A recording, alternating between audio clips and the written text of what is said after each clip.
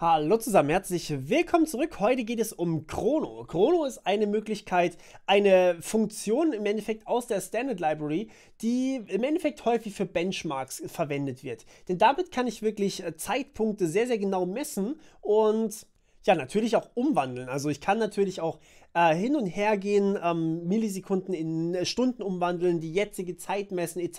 etc. So, und das ist jetzt in der Standard Library, deswegen will ich euch das nicht vorenthalten und deswegen sagen wir Hashtag include Chrono. So, Chrono ist, wie gesagt, die, ähm, ja, die Bibliothek dafür. So, und wie wir das jetzt machen, wir wollen hier tatsächlich mal den Benchmark machen. Wir wollen hier einmal sagen, wir wollen ToString von FIP und zwar benchmarken wir das einmal mit ähm, Chrono, Doppelpunkt, Doppelpunkt. So, und jetzt können wir hier quasi sagen, was wir quasi verwenden wollen. Nämlich erstmal einen Timepoint.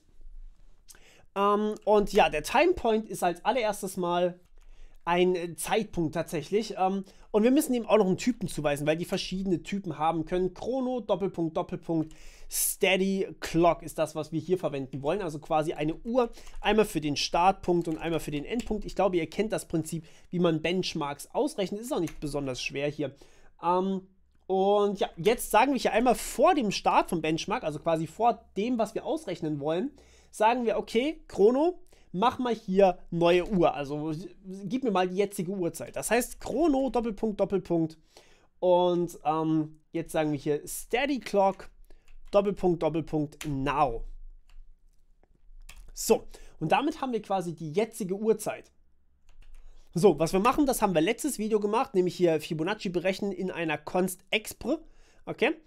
Und ähm, ja, jetzt äh, geben wir hier tatsächlich mal an, wir wollen das Ende quasi wieder rechnen. Das machen wir im Endeffekt genau gleich, oh, nicht Cent, sondern End, ist gleich Chrono Steady Clock, ups, Now.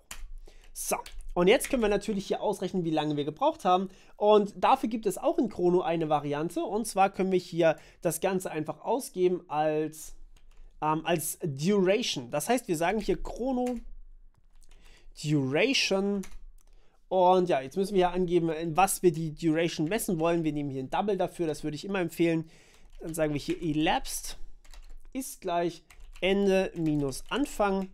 Und Chrono macht das mit den, mit den ganzen Typen für uns komplett so, dass, dass wir alles haben, was wir brauchen. So, und jetzt können wir hier einfach uns zum Beispiel die Sekunden ausgeben lassen. Also sowas wie äh, Cout, ähm, wie habe ich es genannt, elapsed,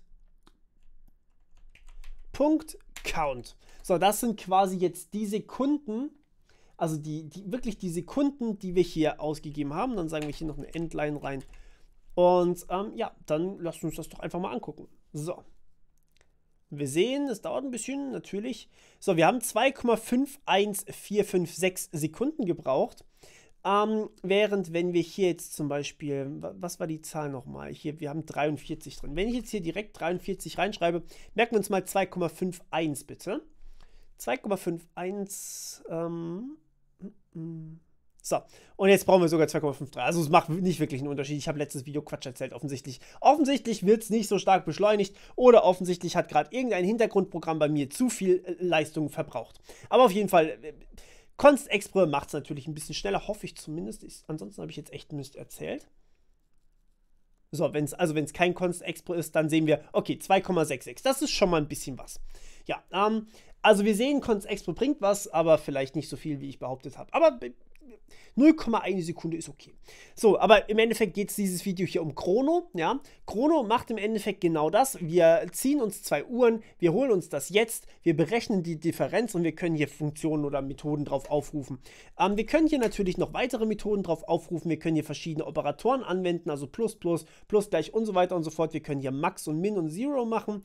Ähm, und wir können natürlich auch ähm, sowas machen wie zum Beispiel das Ganze, ähm, sagen wir hier einfach mal Auto, in Millisekunden konvertieren über ähm, Chrono, Doppelpunkt, äh, Duration Cast und hier dann ähm, Chrono, Doppelpunkt Milliseconds reinschreiben und hier dann natürlich Elapsed zum Beispiel, also die Duration oder irgendwas anderes. Wir können auch natürlich das Now in Millisekunden casten. Wir können auch in andere Typen casten, ähm, die wir hier übrigens alle finden, also Milliseconds.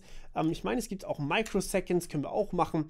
Und ja, da casten wir jetzt mal dieses elapsed rein und dann sagen wir nochmal, wir geben das Ganze aus. Uh, elapsed. Äh, Quatsch, Millis. Punkt, äh, Count. So. Ja, und wenn ich das jetzt hier laufen lasse, dann sehen wir hier natürlich, okay, wir haben, wir haben, ähm, ja, 200 äh, 2.627.766 Mikrosekunden gebraucht. Das ist ein kleines bisschen genauer, als wenn ich das mit einem Double mache, aber ja, ähm, im Endeffekt casten wir es ja, ja. Das heißt, da passiert eigentlich bei der Umrechnung eher wahrscheinlich ein Fehler. Ähm, genau, aber ja, also das ist im Endeffekt so, wie man mit Zeit umgehen kann und wie man mit Const Express umgehen kann. Okay, Gut, äh, wie wir hier auch gerade gesehen haben, jetzt sind wir bei 2,6 Sekunden. Also offensichtlich äh, ist der Unterschied noch kleiner, als ich dachte. Aber gut, das ist ein anderes Thema. Okay, wir hören uns wieder beim nächsten Mal. Bis dann. Ciao.